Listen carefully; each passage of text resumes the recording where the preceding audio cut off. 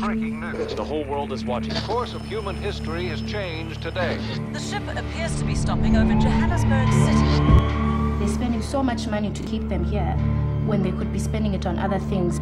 At least they're keeping them separate from us. Any new agents? Open the door, please. This is an amazing find. There of, uh, so it's it's definitely alien, but uh, it's uh, it's not a weapon.